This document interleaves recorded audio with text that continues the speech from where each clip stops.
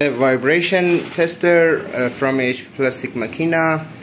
Uh, this test setup is used for uh, lightweight electronical automatic uh, automotive parts with a wideband frequency range up to 2000 hertz it's controlled by computer it connects uh, with a usb cable to the computer it has a uh, software developed by the HP Plastik Makina. You can easily control the frequency ranges the amplitude uh, see the acceleration.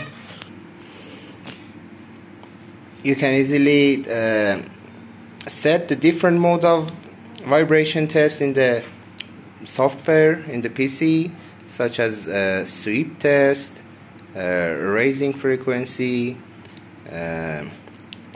steady frequency fixed frequency and other modes of the vibration tester. It's easy to use and user friendly okay thank you